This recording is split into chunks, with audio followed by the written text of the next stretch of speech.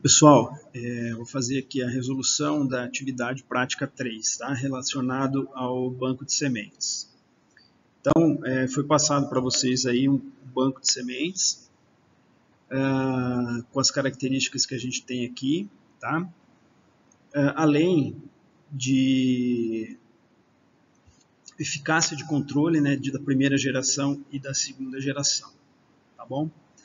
Uh, e em relação as perguntas que foram feitas, né, que foram três, é, vocês tinham que demonstrar através de cálculos né, qual o banco total de sementes no final da primeira geração, depois no final da segunda geração, tá?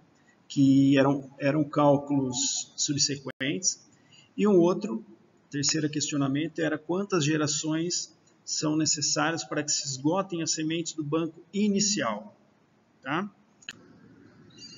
E a última pergunta é, era quantas gerações são necessárias para que se esgotem as sementes do banco inicial.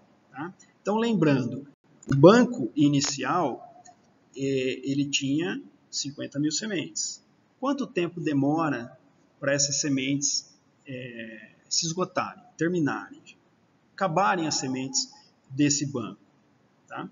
Então, o que eu preciso saber é quantas sementes sobreviventes do banco inicial eu vou ter a cada geração subsequente, primeira, segunda, terceira, quarta, quanto que sobra de semente no banco. Tá? Lembrando que eu tenho as duas saídas, a germinação de sementes e a mortalidade do banco, tá? de uma geração para outra. No início da geração, a, tem a primeira saída, que é, que é a germinação. Tá? Então, metade sai do banco já no início. Eu não preciso fazer cálculo nenhum em relação a isso, porque eu quero saber quantas que sobraram apenas. Tá? Então, é, daquelas que não germinaram, de uma geração para outra, eu desconto 90%. Tá? Então, vamos lá.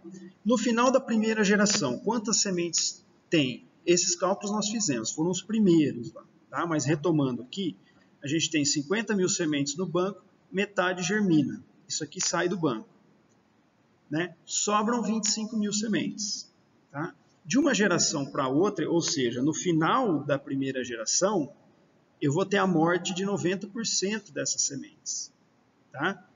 O que dá, então, uma sobrevivência de 10% de 25 mil, que é 2.500 sementes. Tá? Então, no final da primeira geração, eu tenho 2.500 sementes. Para calcular o quanto eu vou ter no final da segunda geração, que ainda sobra lá do banco, tá? eu vou considerar a mesma coisa, as mesmas saídas, germinação e mortalidade do banco.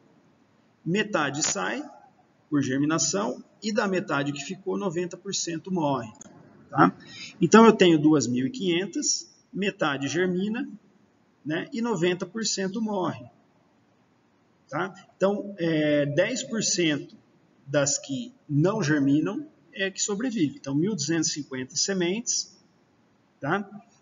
Uh, que ficam dormentes, que não germinam de uma geração para outra. Então, da primeira, do final da primeira para o final da segunda, 10% disso aqui vai sobreviver tá? o que dá 125 sementes. Tá? Então, 125 lá daquelas 50 mil iniciais permanecem no final da segunda geração. Para calcular da terceira geração é a mesma coisa. Tá? Eu vou partir do quanto de semente eu tinha né, no final da segunda, que eram 125 mil sementes. Então, metade disso germina a outra metade fica dormente. Daquelas que estão dormentes, de uma geração para outra, 90% morrem tá? e 10% apenas sobrevivem, que dá em torno de 6 sementes. Para fins de cálculo, eu deixei a casa decimal aqui, tá? 6,25. Então, isso é o que tinha de semente no final da terceira geração. Na quarta geração, eu vou fazer a mesma coisa, partindo da 6,25. Tá? Então, eu tenho lá É, aqui eu deixei seis sementes, mas enfim, é só para cálculo mesmo, não tem problema. Tá? Se fizer com 6,25 vai dar a mesma coisa. 6,25 sementes, metade germina, a outra metade fica no banco. Tá? E quando eu faço a mortalidade de sementes, do banco eu tenho quase 3. Né? Então, ou seja, eu tinha 3 sementes, 2,7 morreram, isso dá 0,3, ou seja, menor que 1. Então, eu não tenho semente no banco. Considero que eu não tenho semente no banco. Não tenho pelo menos uma semente no banco no final da quarta geração. Tá? Então, resumidamente, quantas sementes sobreviventes tem no final de cada geração? Da primeira, eu vou ter 2.500, da segunda, 125, da terceira, em, ter, é, em torno de 62, e da quarta, eu vou ter menos que 1. Tá? vou ter zero sementes. Tá?